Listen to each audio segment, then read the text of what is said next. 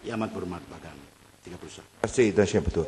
Adakah benar bahawa dengan rasionalisasi uh, harga ini akan menyebabkan uh, kenaikan uh, tanggungan beban kewangan sebanyak RM50 secara purata kepada setiap orang?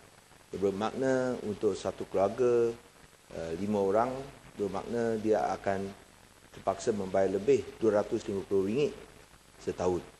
Uh, kalau kita tidak mengambil kira uh, uh, minyak masak satu kilogram.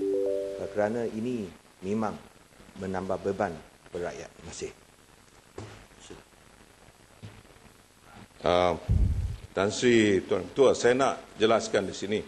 Daripada perkiraan kita, uh, minyak masak hanya digunakan lebih kurang satu setengah uh, kilo untuk seorang. Maka bermakna kalau uh, ianya naik uh, sekarang daripada harga yang sepatutnya uh, RM3.70 sebagai contoh atau RM4 lah untuk kita mudahkan perkiraan ia akan uh, memakan hanya RM1.50 sen. RM1.50 sen dengan satu setengah kilo satu bulan ianya hanya mem, uh, uh, hanya lebih kurang RM2.25 sen sahaja untuk seorang satu kepala. Jadi kalau mana datangnya RM50 saya pun tak tahu yang berhormat kira macam mana.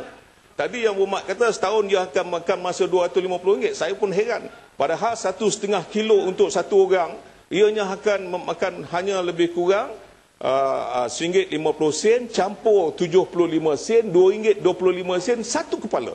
Kalau dia ada lima orang Tambah tak sampai RM50 pun setahun. RM10 maka sudah tentu bila tak sampai RM10 Belum sebulan setahun dia akan ambil uh, uh, pertambahan uh, lebih kurang RM100 setahun. Padahal dia beli minum mineral water yang tiap-tiap hari dia minum itu pun melebihi daripada harga minyak masak yang diproses yang dipunyai oleh semua rakyat yang bertanggungjawab dalam negara kita. Terima kasih. Terima kasih. Terima kasih.